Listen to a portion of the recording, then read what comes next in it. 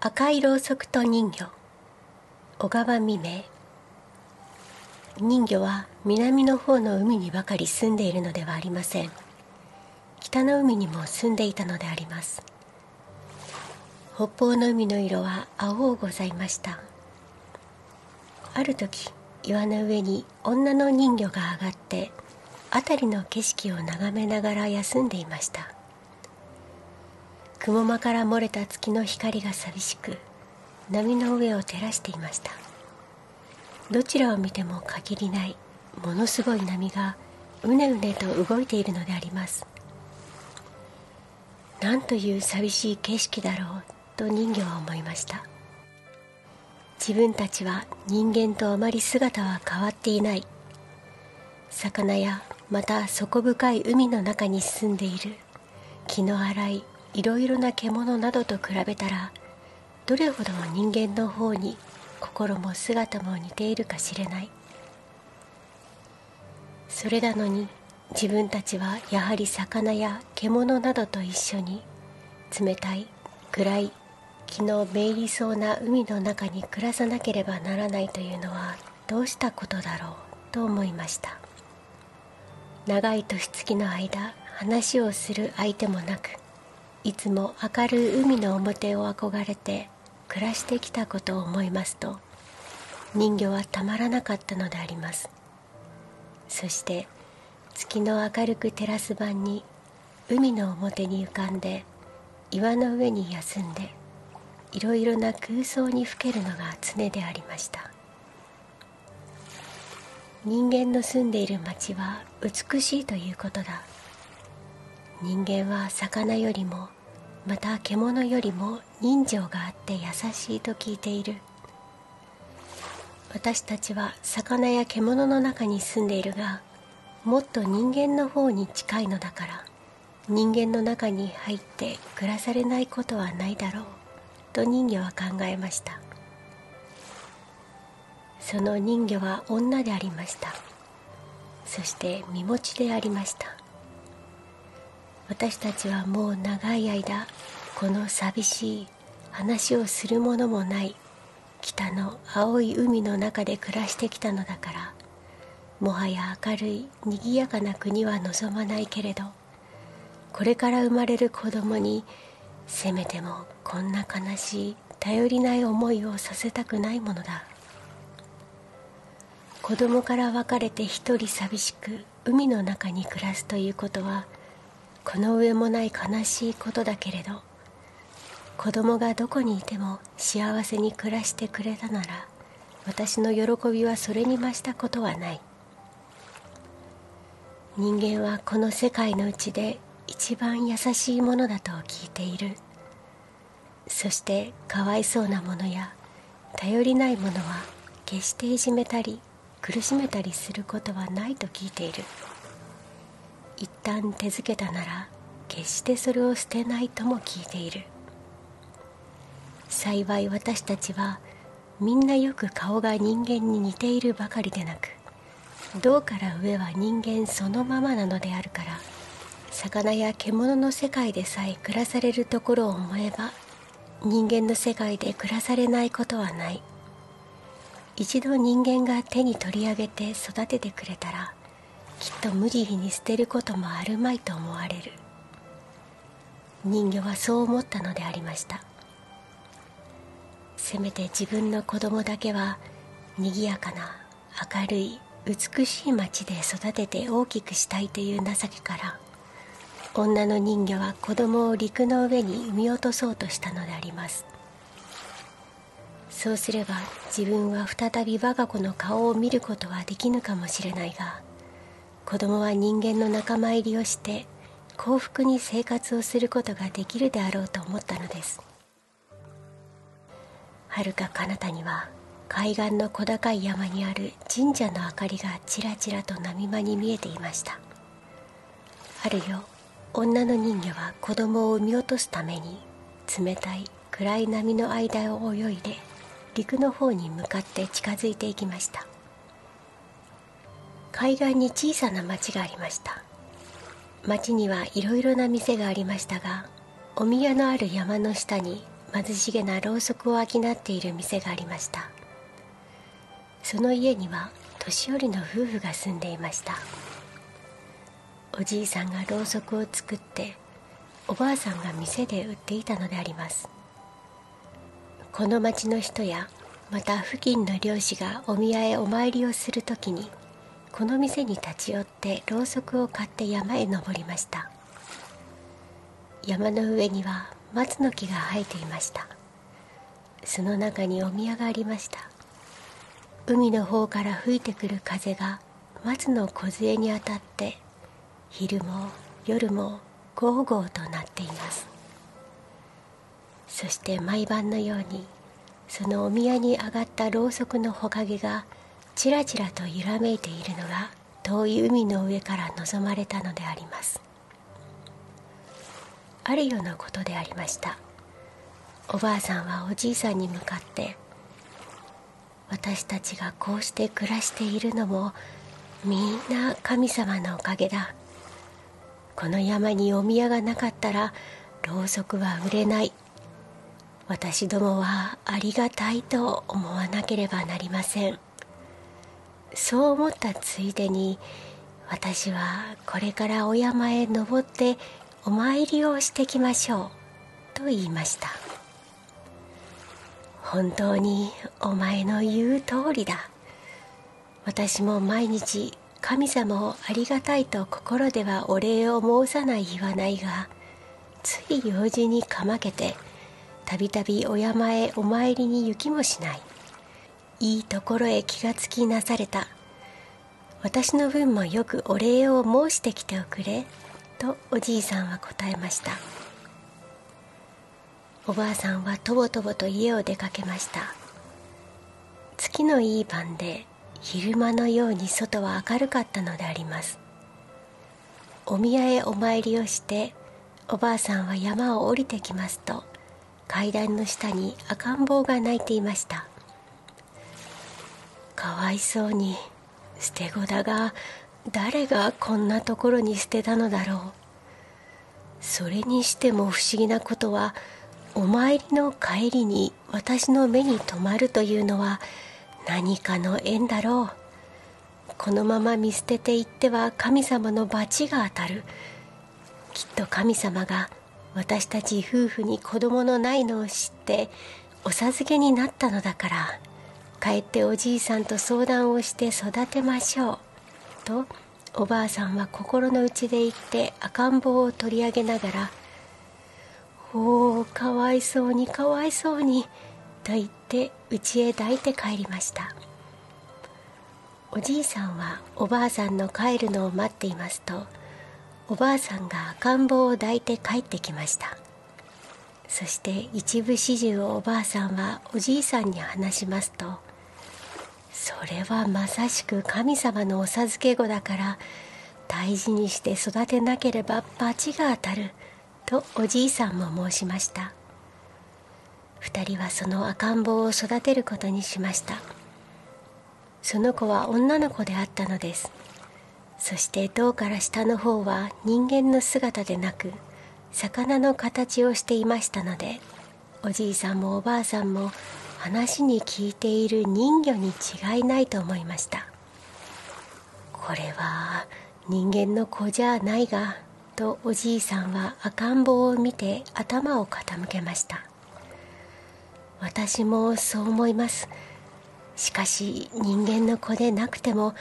なんと優しい可愛らしい顔の女の子ではありませんかとおばあさんは言いました。いいとも何でも構わない。神様のお授けなさった子供だから大事にして育てよう。きっと大きくなったら利口ないい子になるに違いない。とおじいさんも申しました。その日から2人はその女の子を大事に育てました。大きくなるにつれて黒目がちで美しい髪の毛の肌の色の薄くれないをしたおとなしい利口な子となりました。娘は大きくなりましたけれど姿が変わっているので恥ずかしがって顔を外へ出しませんでした。けれど一目その娘を見た人はみんなびっくりするような美しい器量でありましたから中にはどうかしてその娘を見たいと思ってろうそくを買いに来たものもありました。おじいさんやおばあさんはうちの娘は内気で恥ずかしがり屋だから人様の前には出ないのですと言っていました。奥の間でおじいさんはせっせとろうそくを作っていました。娘は自分の思いつきで綺麗な絵を描いたらみんなが喜んでろうそくを買うだろうと思いましたからそのことをおじいさんに話しますとそんならお前の好きな絵を試しに描いてみるがいいと答えました。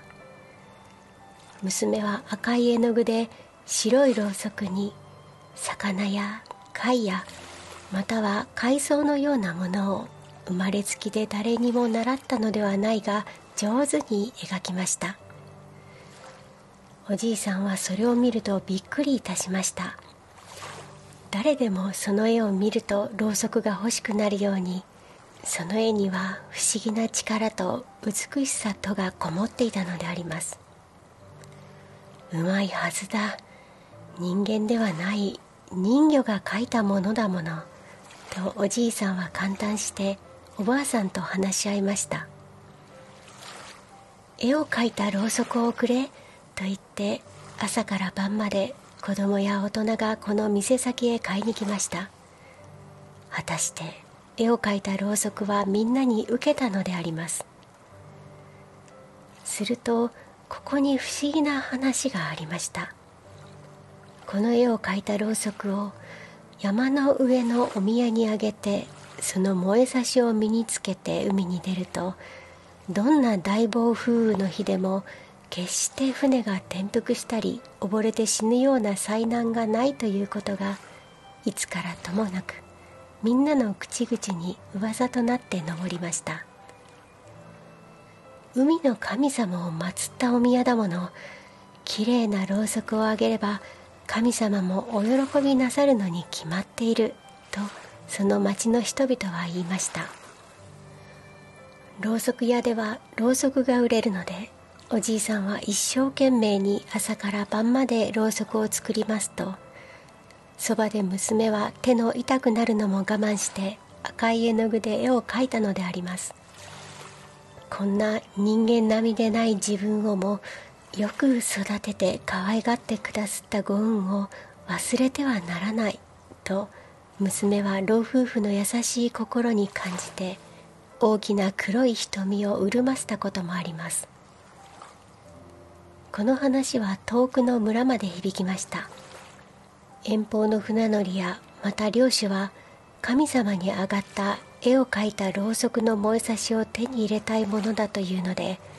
わざわざ遠いところをやってきました。そして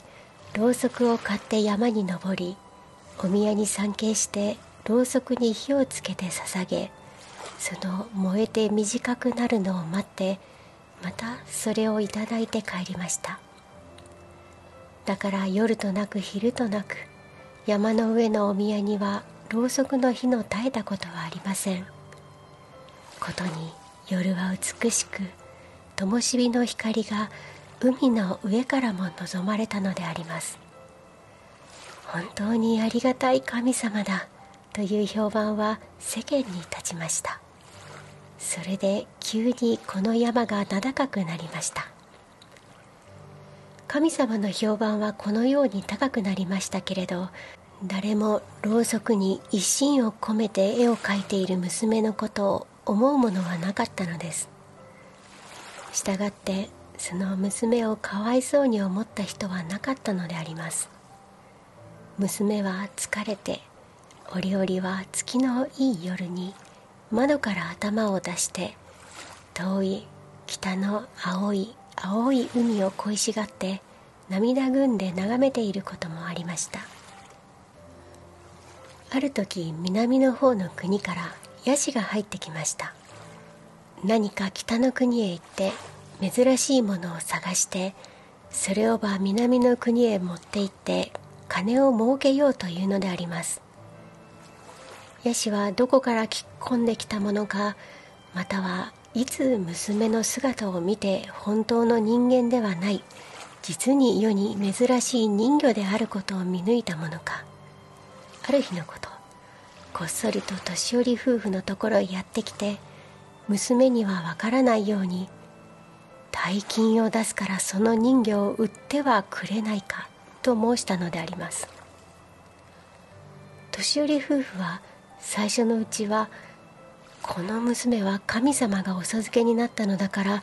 どうして売ることができよう。そんなことをしたら罰が当たると言って承知をしませんでした。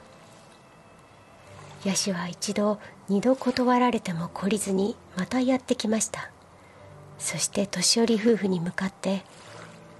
昔から人魚は不吉なものとしてある。今のうちに手元から離さないときっと悪いことがあるとまことしやかに申したのであります。年寄り夫婦はついにヤシの言うことを信じてしまいました。それに大金になりますのでつい金に心を奪われて娘をヤシに売ることに約束を決めてしまったのであります。ヤシは大層喜んで帰りました。いずれそのうちに娘を受け取りに来ると言いました。この話を娘が知った時はどんなに驚いたでありましょう。内気な優しい娘は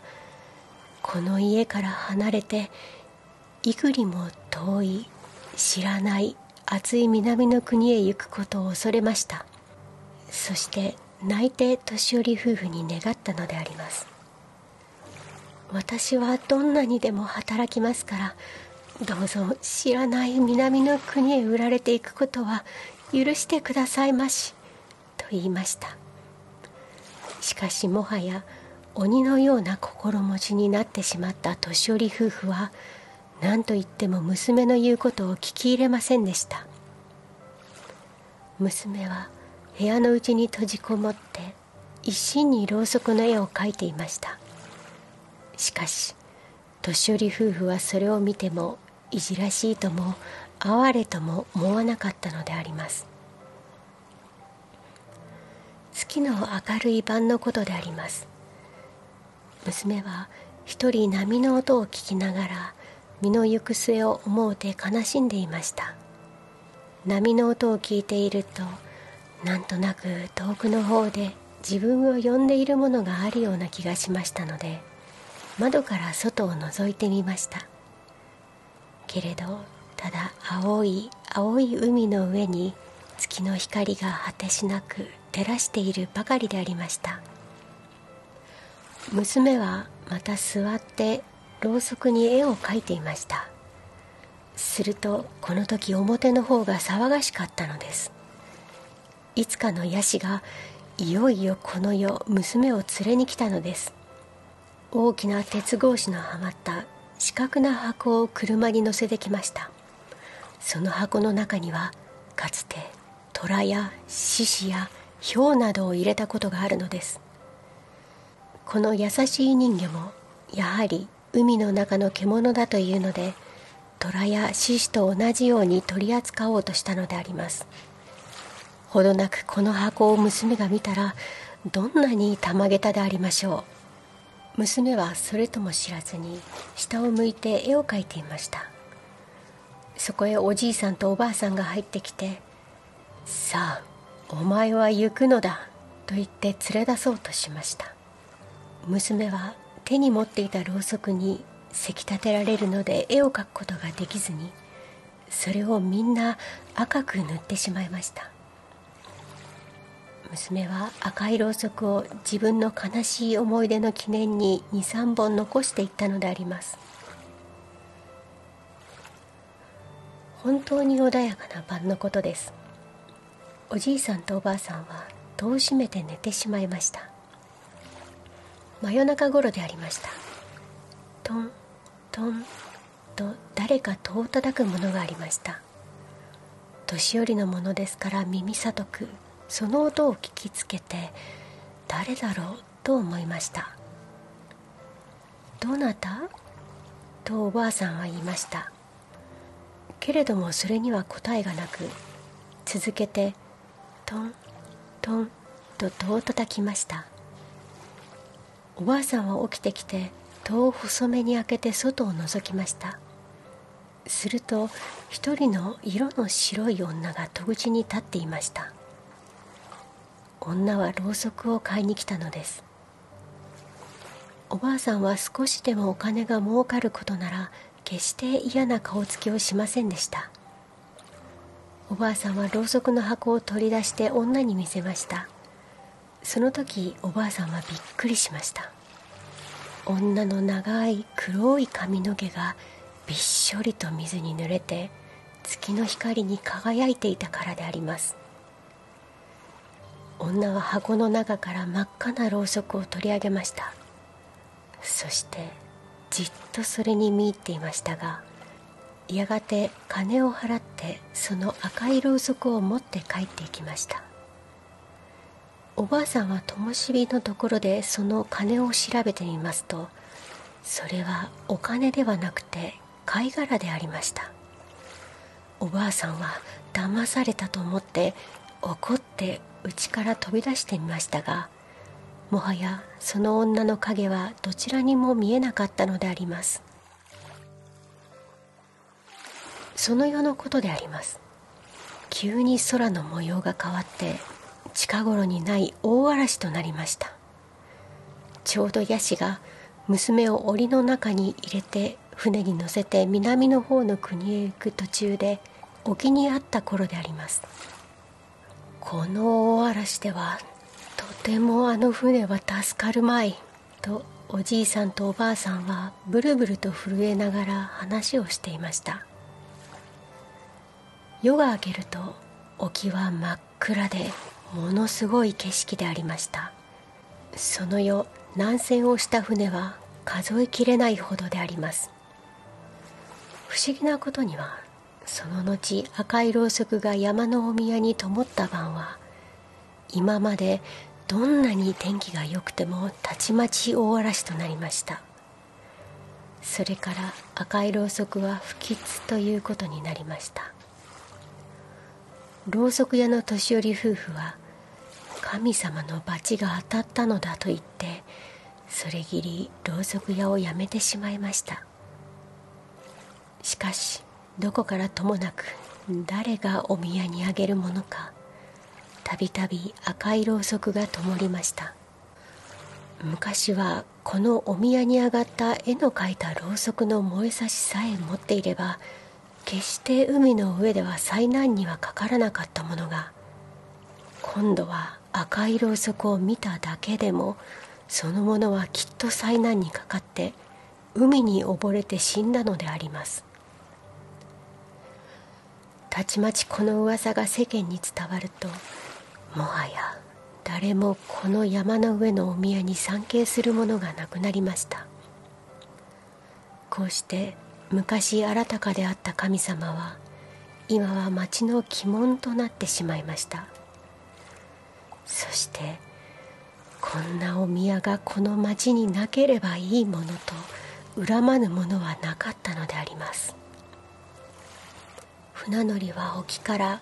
お宮のある山を眺めて恐れました。夜になるとこの海の上はなんとなくものすごうございました。果てしもなくどちらを見回しても高い波がうねうねとうねっています。そして岩に砕けては白い泡が立ち上がっています。月が雲間から漏れて波の表を照らした時は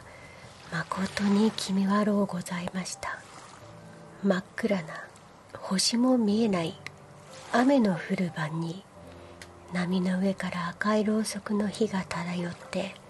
だんだん高く登っていつしか山の上のお宮を指してちらちらと動いてゆくのを見たものがあります。幾年も経たずしてその麓の町は滅びてなくなってしまいました。